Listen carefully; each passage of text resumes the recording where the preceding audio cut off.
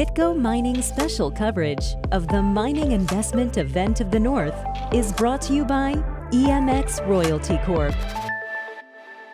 Giyani Metals is advancing a manganese project in Botswana. Eugene Lee is Chief Financial Officer. Eugene, welcome to Kitco. Thank you, Michael. Talk about manganese first, why you focused on it. Manganese seems to be the forgotten metal that's used in the cathodes of lithium ion batteries in the electric vehicle revolution. When we talk to investors, everyone's heard of lithium, they've heard of nickel, nickel sulfate, they've heard of cobalt sulfate. There's not much discussion, or there hasn't been much discussion or awareness around manganese. We were having a discussion before we had this interview and talking about awareness. It seems like there's been, how would you say, there's some big heavy hitters or there's been some big companies that have mentioned the need for manganese and that that's had an impact on what you're doing. Absolutely. So um, Elon Musk from Tesla has tweeted about manganese. Um, we've also seen Herbert Diess, the CEO of Volkswagen, talk about manganese. Um, in, uh, in the opening of the Berlin Gigafactory, uh, Elon Musk also commented on the future or the potential of manganese. Uh, we've also seen some new manganese-rich formulations in some of the cathode makers. So BASF has designed an NMC battery, nickel manganese cobalt battery, that is 370, which means three parts nickel, seven part manganese, and no cobalt. Uh, we've also seen SVolt develop a new battery cathode, uh, which is just nickel and manganese. They've also taken out the cobalt. So companies seem to be moving towards manganese-rich formulations because it takes away some of the price volatility and sustainability issues that you have with cobalt, um, and even with the nickel. The volatility in the price of nickel we've all seen over the past year uh, has been incredible. So the batteries, again, they're these chemistries, and everybody's making trade-offs in terms of like prices, performance, what's happening in terms of technology, and so manganese is one of the uh, elements uh, that can be added to the battery. And what does it actually provide? Uh, what are some of the qualities? So the, the most significant quality that uh, manganese provides is stability uh, to prevent thermal runaway. So I think the most the example that I use most frequently is remember a few years ago there was an issue with the Samsung Note 8 phones, which would catch on fire. Um, that was caused by thermal runaway. There, were, there, was an issue with the battery that caused it to, to overheat and catch on fire. And that's what you want to prevent. So manganese provides the stability that you need with high uh, nickel formulations. It's similar to what the properties of cobalt uh, provide as well let's talk about the project. Uh, what's unique about the project and why is it a good source of manganese or this high purity manganese that you need? Right. So currently over 90% of the production of high purity manganese sulfate monohydrate comes out of China. So OEMs are looking for ESG transparency in all of their supply chains.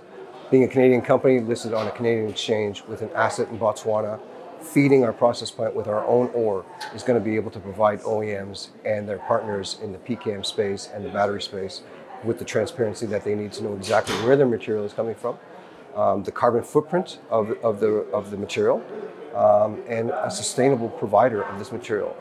Our asset currently has um, a mine life in excess of 20 years approximately, and we have some optionality with the processing plant that we're designing that uh, would increase our throughput annually uh, we also have prospectivity with the assets that we have in Botswana to continue to grow our resource in country.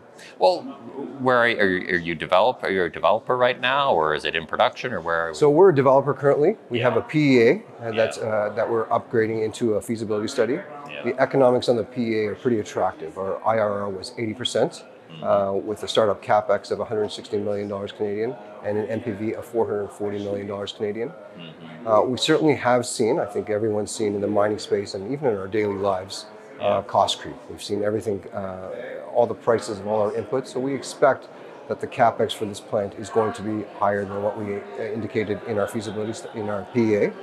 But we've also seen an incredible appreciation in the price of the product. So in our PEA, we used a very conservative price of 1588 a ton for the selling price of high purity manganese sulfate monohydrate. We're seeing the spot market in Europe right now is about 2,500 to $3,000 a ton, and it's even higher in the United States. So while we've seen costs escalate, uh, we're also going to be able to use a much higher price. So we're expecting that the margin won't change dramatically from our PEA uh, to our feasibility study. How's the location? How's Botswana? Because you hear a lot. You said again that uh, you know that you want to see uh, North American uh, manufacturers, European manufacturers want to bring it closer uh, to where they're located. Uh, are we feeling comfortable with Botswana? Botswana is a fantastic jurisdiction. Right? The Fraser Institute uh, ranked Botswana as the number one jurisdiction to uh, invest in in Africa. Um, it has the longest serving democracy in Africa of over 50 years, and they have one of the best private public partnerships. Uh, as an example, that's through Debswana, which is the joint venture between De Beers, the world's largest diamond company, and the government of Botswana. And that's worked because they've got uh, sound rule of law, they've got mining regulations, uh, and it's a very friendly jurisdiction in which to build projects. There are other projects that are being built in Botswana right now, which you can't say for a lot of other jurisdictions. Um, is being developed, a copper mine in Botswana, and Sandfire is, is developing or building their Motheo copper mine as well. So it's a fantastic jurisdiction, and we're very pleased uh, that, uh, that we have a great relationship with the uh, government of Botswana. we're continuing to develop um, through meetings and keeping the government up to date with our progress because they're keen to diversify away from diamonds and they're keen to be put on the map. And Giyani and our project, which is to be which is going to be able to produce the uh, manganese sulfate in country and add the value curve in country so that Botswana people from Botswana can benefit, is very important to the government of Botswana. Are you funded? So we did uh, two financings last year. They were brokered by Cormark Securities and Beacon Securities. Uh, we raised $23 million Canadian last year.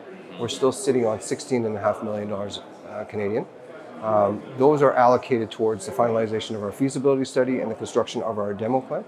Uh, but we also have a number of warrants that are outstanding that are in the money that could potentially bring in some additional capital into the company. But it's, uh, it's a unique story, Michael. It's, uh, it's a story where because it ticks a lot of boxes um, for ESG, EV transition, we're already talking to, even at the stage where we haven't finalized our feasibility study, we're already talking to a number of financiers, including private equity funds, royalty funds, uh, ESG funds, and your typical uh, typical bank financiers. Mm-hmm. Uh, help me out, uh, Eugene. When I see um, you know it, you know companies like yourself that are developing a project, um, you really see them take off because they've signed an offtake with X, they sign an offtake with Y. Absolutely. What's the universe of those people? Who are the major players there? Well, there's a growing list of battery makers, right? There's been a lot of money raised in Europe for new gigafactories. Mm-hmm. Um, we are talking with a number of OEMs, we're talking with a number of PCAM manufacturers and battery makers. What's changed for us is uh, being how small we were, being being in, in, a, in, a, in a mineral that was less recognized, we sometimes had difficulties reaching out to potential off-takers. What's changed in the last six months is that instead of us having to find uh, cold call someone and try and connect with someone at these at these organizations, now they're reaching out to us. They want to know where, what stage of the project that we're at, how well we're funded, when we might be in production, because they're looking to they're looking to um, for a sustainable provider of uh, ESG friendly, ESG compliant material that they use in their uh, battery cathodes and in their batteries. Now, you had a background, uh, your, your previous job was with Hudbay. Is Giyani, is this something that you're going to be developing on your own, or is it something that could potentially be acquired? Our intention is to, to build this and develop this on our own, obviously with the support of uh, financiers that are going to help fund the, uh, the, the, process plant and the construction of the mine. But uh, our intention is to fully build this project uh, and uh, leave a legacy in Botswana. Uh, lastly, catalysts over the next 12 months, milestones. Sure. Uh, the first and the immediate one is our feasibility study. So we'll be upgrading from PEA to feasibility study uh, by Q3 of 2022. We're also in the final stages of signing our, our uh, construction contract for the construction of a demonstration plant in, in South Africa. Uh, the purpose of the demonstration plant is one, to prove that our process flow sheet works and that it works at scale. Two, to provide uh, to produce samples that we can provide to potential offtake finance offtake partners. And three is a training tool um, to develop the team that we need to develop in Botswana. We'll bring that uh, demonstration plant from South Africa into Botswana.